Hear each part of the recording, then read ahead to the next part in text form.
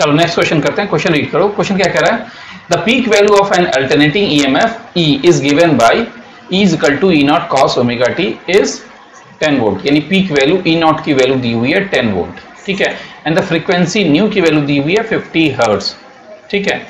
और at time T is to one by sixty second में instantaneous E M F यानी ये जो कैपिटल ई e है, इसकी वैल्यू निकालनी है।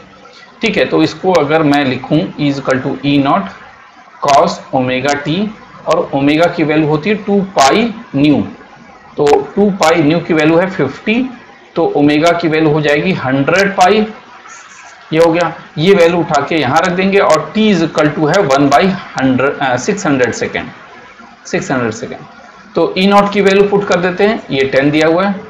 टेन इंटू कॉस ओमेगा की value hundred pi into T की value one by six hundred तो अगर इसको सॉल्व करेंगे, कितना आएगा?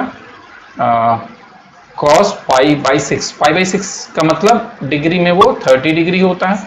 तो कॉस थर्टी डिग्री की वैल्यू क्या होती है? रूट थ्री बाई टू होती है। तो ये वैल्यू यहाँ रख देंगे ten into root three by two two से कटा फाइव रूट थ्री तो instantaneous value T to one by six hundred second पे कितनी होगी? फाइव रूट थ्री वोल्ट ये बी वाला ऑप्शन ज़्यादा अप्रोप्रिएट है। नेक्स्ट क्वेश्चन करते